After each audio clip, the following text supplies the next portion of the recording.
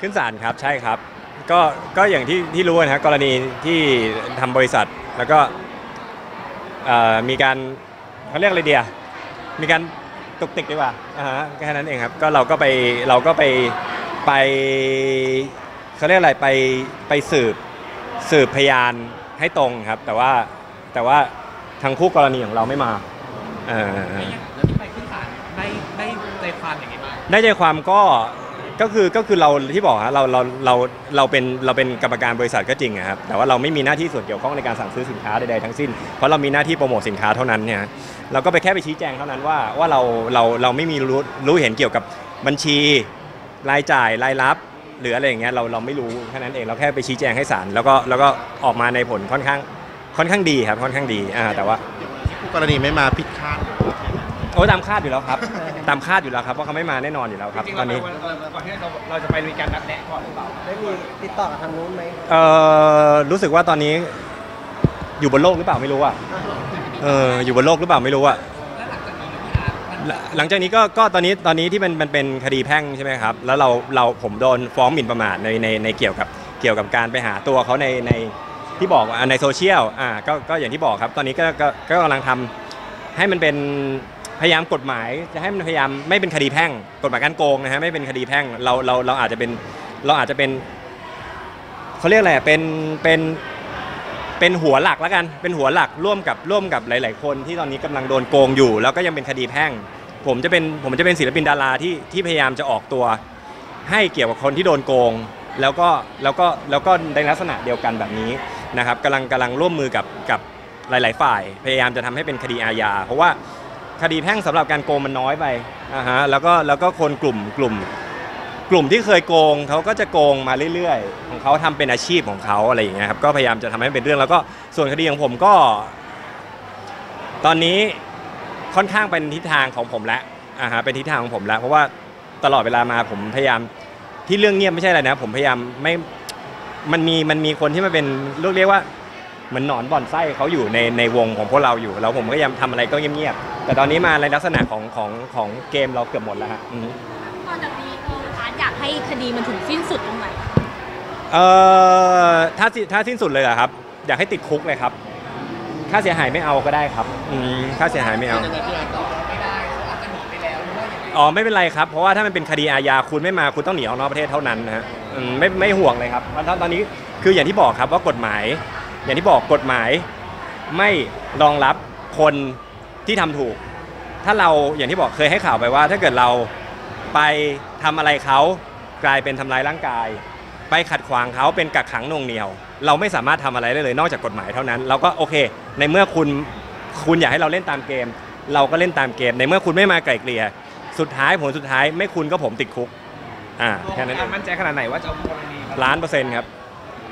ล้านเปอร์เซ็นต์ครับเราก็แบ่งที่ ตั้งของเขาไหมครับรู้ครับผม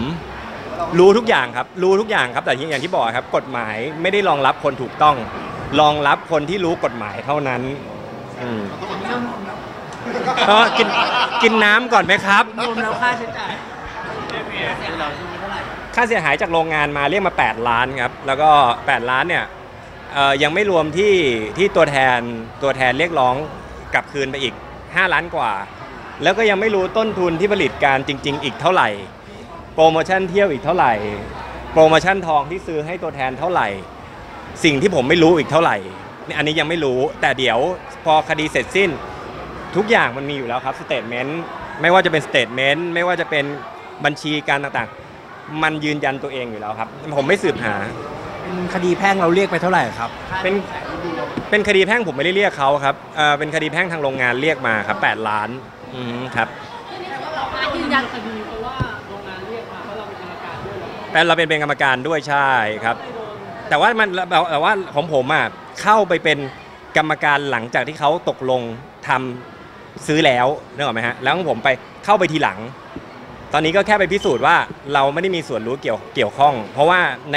ในตาประทับของบริษัท อันนี้เป็นความรู้แล้วกันนะครับ ในตาประทับของบริษัทจะทำอะไรก็แล้วแต่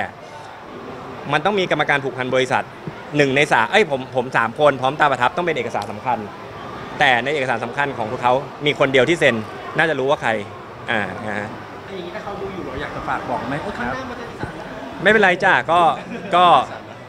อยู่เปิดร้านให้ดีดีนะจ๊ะเดี๋ยววันหลังไปหาเฉยๆไม่มีอะไรอืมรอได้ใช่ไหมคะถ้าว่าฮะคดีมันอาจจะยืยืดเยื้ออุ้ยผมไม่เหมือนคนอื่นฝากบอกเลยแล้วกัน ก็บอกแล้วไงครับ จุดสิ้นสุดไม่เขาก็ผมติดคุก เออจุดสิ้นสุดผมไม่ยอม ผมไม่ยอมแล้วผมผมบอกเลยทุกวันนี้ผมไม่ได้ทำเพื่อตัวเองนะ เงินค่าเรียกร้องผมบอกผมผมเคยคุยในในใน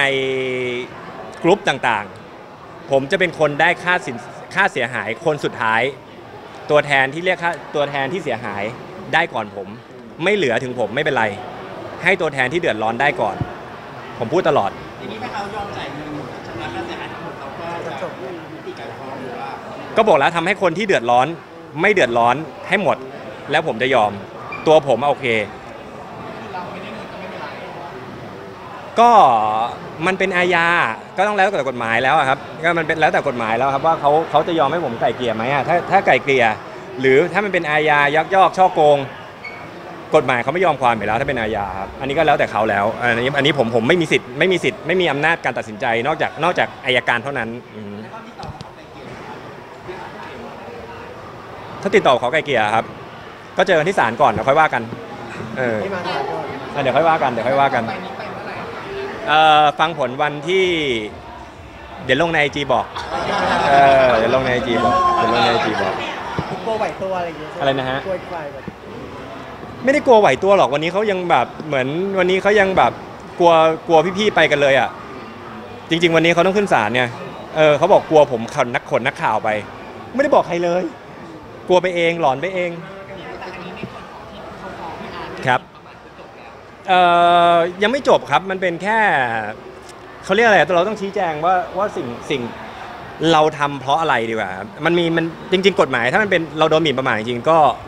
ก็เบาอะ มันไม่ได้แบบร้ายแรงกระทั่งแบบฆ่าคนตายอะไรอย่างเงี้ยครับต่อให้มันเป็นคดีติดตัวเรา หมิ่นประมาทเพราะหาคนตัวคนผิด เฮ้ยรับได้เรารับได้เรารับได้เรารับเรารับในรับในคดีอาญาได้ว่าหาตัวคนผิดให้คนอื่นเดือดร้อนเฮ้ยเราเราเราได้ แต่ถ้าไม่ใช่แบบไปปล้นไปฆ่าเขาแล้วก็เป็นคดีอาญาติดตัวเราเรารับไม่ได้นะเขาอาจจะกลัวเราเล่นนอกเกมหรือเปล่าอะไรนะฮะอาจจะกลัวเราเล่นนอกเกมถ้าไม่เล่นนอกเกมกับผมก่อนผมก็ไม่เล่นนอกเกมกับเขานะเออแสดงว่าเขาเล่นนอกเกม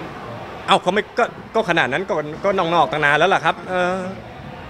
ญาติที่เขาฟ้องพี่เขาที่เขาฟ้องพี่มาเขาเรียกร้องอะไรเขาเรียกร้องอะไรไม่รู้เลยอะครับเขาเรียกร้องเป็นเงินหรือยังไม่รู้เลยครับพี่บอกว่าพี่ประมาทอ๋อหมินประมาทนะครับเต็มที่ผมก็โดนปรับแค่แสนห้าครับเออแสนห้ามีตังค์จ่ายครับ อะไรนะฮะก็น่าจะจบแค่แสนห้าครับถ้าถ้าเข้าก็แสนห้าแค่นั้นเองครับ มีตังค์จ่ายก็เดี๋ยวก็รอเอ่อรอศาลเรียกแล้วกันแค่นั้นเองไม่ไม่ไม่ไม่เป็นไรครับทำงานดีกว่าทำบริษัทตอนนั้นตั้งนานเยังครับยังอยู่ในขั้นตอนของตำรวจส่งอัยการครับอ่าแล้วก็ตำรวจก็อะเดี๋ยวเดี๋ยวเดี๋ยวไว้จะลงบอกแล้วกันนะครับว่ามันเป็นอะไรเออแต่แต่แต่ happy ครับแต่ happy ไม่ไม่ไม่มีอะไรน่าห่วงมาก